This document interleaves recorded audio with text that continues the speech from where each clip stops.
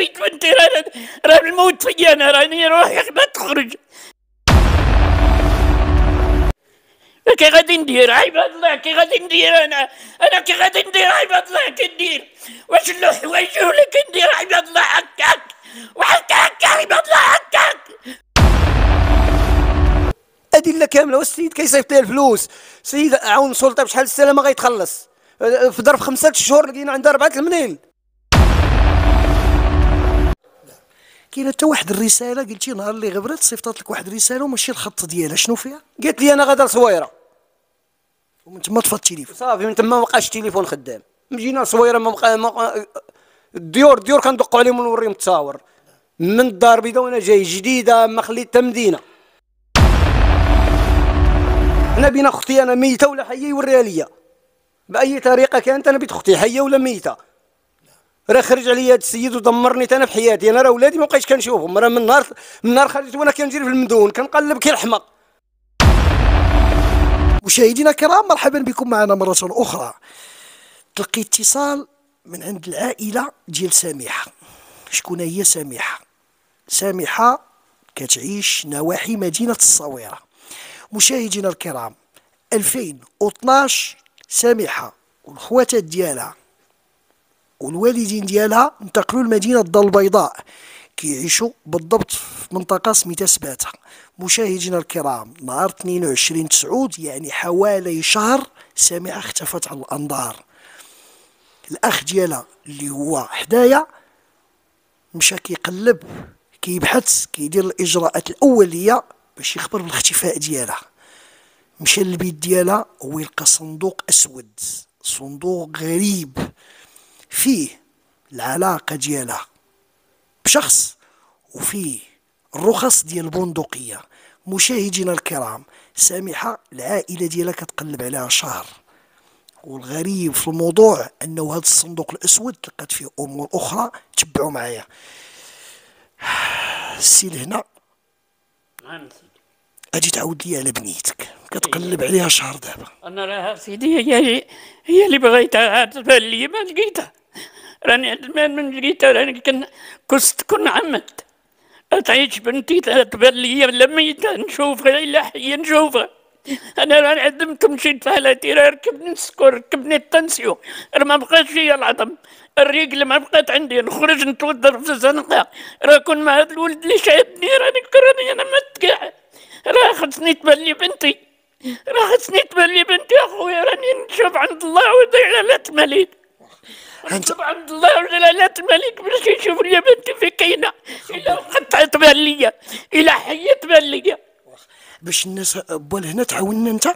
عاوني قول لي نهار اللي ما لقيتيهاش وشديتي الكار. مشيتي تقلب عليها أنت كتسكن دابا في الدار البيضاء وأنت من نواحي الصويره أييه. غادي تقول لي ملي شديتي الكار باش مشيت تقلب عليها؟ ملي شفتي داك الصندوق اللي جبد ولدك؟ اللي فيه العلاقة ديالها داك اللي كتعرف. عاود لي ملي شديتي الكار. منين شديت الكار سيدي؟ تلفت وما تيتعقل شيء خرجت لقادير صبحت عالمني ب- باش نحضر عند رجال الشرطة. صبحت في قادير ما تليت عقلت فين غادي؟ وعدمت ومشيت في حالاتي ما تليت عرفت تبحث الرجال الصغيرة ما بقاش فيا العظم الصحيح والولاد كاينين ما عارفين شيء كون ما ندرس عليهم والكرا طاحني. ما عرفت أنا كي غادي ندير نطير فين نمشي أنا. وهاد الدرية غبروها ليا ما عرفت شكون اللي داها. اختلفت من قدامي ما عرفت ميتة ولا حية ما ملي مشيتي أنت من مورا أكادير ووراوك الناس مشيتي للصويره عاوتاني عزتي أنت في الكار واخا مشيتي للصويره أيه. مشيتي عند السيد وكيل الملك الله يرحمني الوالدين الله استقبلك. يسهل عليك. عاود لي اش دار انت أنت ملي شتي عرفتي عرفتي شكون هو؟ ولا تقدر تكون معاه.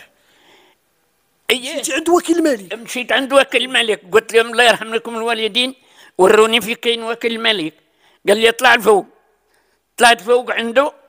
قلت له سادة وكيل الملك أنا خصني شاكي عليك راه جات الشهر بقيت لي يومين. وما عيطتيش ليا كيفاش؟ قال لي أنا غادي نعيط لرجال دارك دروك. غادي يحضروا عيطت لهم أسيدي وأنا قاعد حداه. في الحقيقة قاعد حداه. ملي عيطت ليه؟ عيطت ليهم. مشاو لي جابوه يلا جيت من دوزت هذيك النهارات الغدا ما كليتوش. نهار كامل ما كليتش دقيق كاع والو. وهو تعدم هما لقيته هو قاعد مجمع مع رجال دارها. قلت له جوج كلمات قلت له أدعيتك على الله والدم ورفاقة كيصلي عمية في الجامع وكل شيء. وناكل ونشرب عمية وما قرش اليوم ما قال ليش كاع هذا الفصل اللي ترى اياك ما عمرني حتى أنا على ذاك الرجل كاع ويعلمني نعم اش قال لهم هو شنو شنو شنو العلاقة ديالو بالبنت؟ فينا هي؟ عارفها عاود لي ما عرفت وسيدي كيفاش معها الله اللي يعلم بينا وبيه. واش هي هاد البنت؟ حية تبان ليا. ميتة تبان ليا. شوف الله اش قسم لي إلا باقي حية بيت نشوفها. إلا ميتة يجيبوا لي نشوفها. هذا هو اللي بغيت أنا. والله يجعل البركة في جلالات الملك. الله ينصر سيدنا. هك هك راني بيت بنتي راه الموت فيا أنا راني روحي ما تخرج. راه ما تلاش عندي العظم صحيح باش نموت أنا. أنا خصني واش أنا كبرتها تا ولات ب 32 عام ويختلفها واحد يلوحها في البحر ولا فين دايرة ولا. راه عباد الله راه الحقرانية هذه راه راه بحالي لا الناس حقروني أنا. وأنا راجل مسكين راه ما عنديش باش نوض كون عندي اللي رياش وعندي عندي هذاك واحد هو اللي يحرك ولكن باش بغيت نوض تركوب ما عنديش أنا في جيبك ركوب ما دايركوش. أنا ما عنديش كاع الريال. كي غادي ندير؟ عباد الله كي غادي ندير أنا؟ أنا كي غادي ندير؟ عباد الله كي ندير؟ واش له حوايج ولا كي ندير؟ عباد الله هكاك وهكا هكا عباد الله هكاك وتعرف الخضر ما كاينش يضيعوني أنا في حقي. واخا الوليد الله يسترك الله يسترك. مشاهدينا الكرام. ارتاح الوليد ارتاح ارتاح. مشاهدينا الكرام نتنوي الرأي العام أكثر في الموضوع. الأمور واضحة ما نناقش في الأب الله يحسن له وعن 83 سنة الأمنية ديالو يشوف البنت الابنة ديالو. سامحه هذا الصندوق الأسود اللي تكلمت عليه مجرد أنه الأخ ديالها مشى للمنزل قلب الصندوق لقى فيه الحوالات البنكية مع الشيخ نواحي مدينة الصويرة على علاقة معاه. فيه بعض الصور أمور واضحة. وكذلك كاين واحد الكلي في فيديوهات وفي أمور أخرى. مشاهدينا الكرام هاد الحوالات البنكية آخر وثيقة منهم تسلمت مبلغ 5000 درهم من عنده. حوالي ثلاثة أيام. هذه المسألة الأولى. والأكثر من ذلك أنه هي كتخدم في مخبزة. في الدار البيضاء باش تعاون هذا الوالد وتعاون الأم ديالها بمبلغ حوالي 30 ألف ريال في الشهر. على قد الحال. والغريب في الموضوع أن عنده رخصة ديال القنص بندقية سلاح ناري. ديال من؟ ديال هاد الشيخ. والوصل بأنه ولا في سميتها. ودارت لاسيرونس ديال هاد البندقية وهذه علامة استفهام. بهاد البندقية اللي عندها فيها رخصة مبدئية ولكن رخصه الاستغلال والطريقة واضحة الأمور في إطار القانون وفي التعديل الحكومي الأخير. تصادق عليه. ما هي الطرق والقوانين الجاري بها العمل في هذا الإطار؟ أنا غنبسط مع الرأي العام. بحيث أنا عندي هذا الصالير ومشيت نلعب الجولف مسابع المستحيلات. كل حاجة لا قياس مع وجود الفارق. هذه مجموعة من النقط في الموضوع بطريقة أخرى اللي هو شيئا ما غادي يساعدني في الحوار باش الرأي العام يستوعب معنا الوليد الله اللي عالم به انت عارف الأمور. كدور في صويرة كتقلب ما خليتي ما وصلتو لوالو. استدعوا الجندرم داروا معاه استجوبوا مازال ما عرفنا شنو داروا معاه شنو ذاك الاستجواب وداك الشيء كيقول لهم أنايا كانت كتسالني فلوس مرة قال لهم أنايا قالت لي خاصني فلوس مرة كيقول لهم أنا كانت كتهددني بالتصاور كل اش كيقول لهم؟ حنا هادشي اللي توصلنا به. وبأنه جابوا مراته سنات لي ما عرفتش أنا علاش سنات لي هاد المرة ديالو. أنا غادي نقول لك اللي كاين في الشكاية اللي شفت. مشاهدينا الكرام مجموعة من الصور واجهوا بها رجال الدرك فيها علاقة. أمور واضحة. هاد الصور من الطبيعي جدا أنه غادي يكون عنده الاعتراف التلقائي أنه عنده علاقة معها هنا غيتطرح مشكل هو مزوج. جاب الزوجة ديالو دارت ليه التنازل. وفي هذا الإطار القانوني إلى تقدم أحد الأطراف بالإزواج بالتنازل كتبطل متابعة النيابة العامة. ما يخص الفساد أو أمور أخرى. الموضوع اللي هامنا أكثر هو فين هي هاد البنت. هنا خرج هو. خرج مشى بحالاته. غادي تعاود لي المعلومات أخرى اللي قبل ما تصوير اللي قلتي لي مهمة. هو واحد من العائلة ديالكم اتصل به اش قال لي اتصل به ولد الأخت ديالي. قبل ما منين حلينا ديك الشانطه لقينا في هذاك الشيء اتصل بي قال لي ودي هي معايا حية ولا ميتة ما غتصور والو. يعني هو واصل الشيء هو هو أصلا ديما هادشي كيوقع لي. الناس تاع البلاد راه عارفينه بأنه هو بحال استعماري لا تعرف لأن استعماري هاد الناس راه استعماريين الأخت ديالي بعداش دات شي مكحله حنا ما كنصيدو ما كنعرفو نصيدو ما عندنا مكاحل ما عندنا بارود ما كنعرفو حتى حاجة. واش حنا الحال على قد الحال وغادي نمشيو حنا غنشرو مكحلة؟ وواقف معاه هو على المكحله حيت هي هي يا عندها لاكارت على حساب البلاد وهو يا عون سلطة هو اللي واقف معاه هذيك المكحله وحنا كنحتارموا القبيلة كاملة كتحتارم لكن هذيك المكحله في الأصل ديال من؟ الأصل ديالو هو هو اللي غيكون دبر لها عليها ما عرفتوش منين جابها لها. حنا القبيلة كلها كتحتارمنا حنا ما, ما فينا حتى عيب. والناس كلشي كيشهدوا بهذا الشيء. وين هذاك السيد راه ظلمنا. حنا ما غيمكنش غنمشيو نظلموه. كل ما لقينا دوك الاوراق ولقينا التصاور. هذيك هذيك الويس بي ولا شنو هي؟ راه كنت تشوفها راه طحماق يعني يعني علاقه ما بحال مجوجين. ماشي مجوجين. مجوجين ما غيديروش هذاك الشيء. راه حشومة عليه راه ظالم هذا السيد. وشويه داروا معاه استنطقوه زاد بحالاته وكيقول لهم كيدور في القبيلة وكيقول لهم نهار السوق كان في السوق وكيقول لهم شوفوا أنا راه يدير لي بيدير ما عنده ما يصور ليا. اش عندهم هما يجروا تاعي وما غيصوروا ليا والو. حنا نتمناو من جلالة الملك ياخذ لنا حقنا. من هذا السيد راه ظلمنا. حنا الأخت ديالي بغيتها تبان حيه ولا ميتة أنا راه ظلمني هذا السيد. ما الغالب الله. هذا السيد راه الشرف ديالنا ضيعوا لينا. أنا كنطلب من جلالة الملك ووكيل الملك يشد لي حقي من هذا السيد. راه ظلمني. راه ظلمني هذا السيد.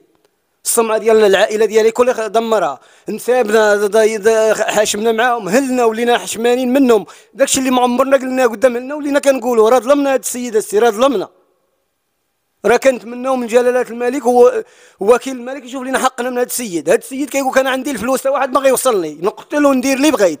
حنا بينا أختي أنا ميتة ولا حية يوريها ليا. بأي طريقة كانت أنا بيت أختي حية ولا ميتة.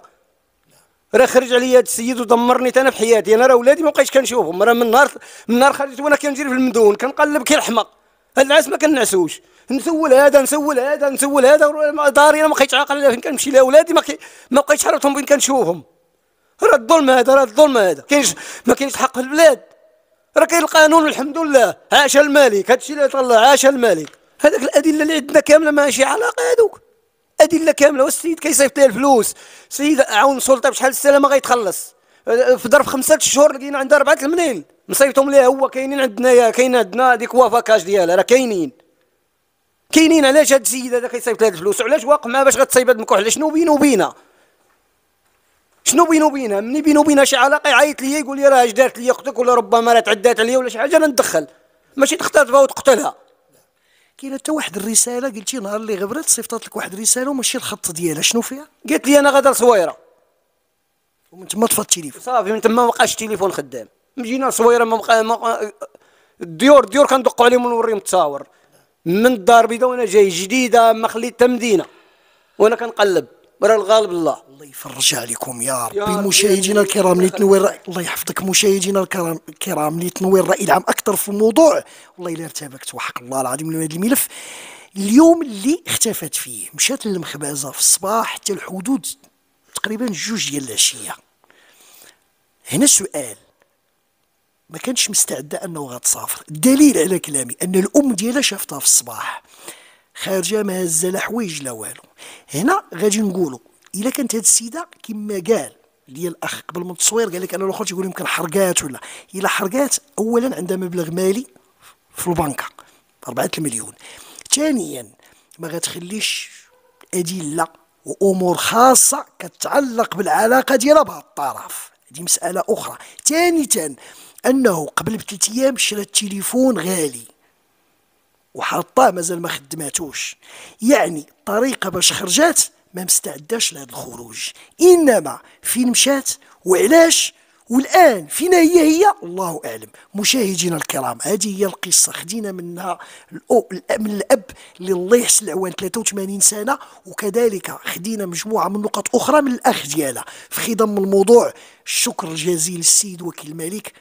وكنوجهوا لي النداء لأن هذا هو دورنا. هو إيصال. هذه الملفات بصراحة للمسؤولين والرأي العام. البحث فيما يخص الاتصال اللي دار واحد من العائلة مع المعني الخبرة على الهواتف. تقدر تبين هذا الخيط. مشاهدينا الكرام رجال الدرك في حالة إذا لم تكن حسب المنطقة كتوفر عندهم من الإمكانيات أو اللوجيستيك لهذا الموضوع هناك أعلى مستوى أمني في الرباط الفرقة الوطنية للدرك الملكي. اللي البحث بدقة عن أين هي سامحة؟ باش هاد العائلة تطمئن مجموعة من النقط في الموضوع فيها غرابة. إحنا لا يمكن أن نناقش أمور أخرى تتعلق بالتهديد وأمور أخرى بأكثر ما أننا ندق في جوهر وقلب الموضوع. الأبحاث اللي دارت الآن شيئا ما بطيئة والدرية غبرات وهي شهر. والاتهام أو الشك إذا صح التعبير. يعني ماشي من حقنا نناقشوا الاتهام الشك كيمشي للشيخ. لأنه هو الذي عن قرب بشكل كبير في التواصل مجموعة من الأمور. بهذا السيد الخبرة على الهاتف ديالو في الواتساب كيفاش كتواصل معاه.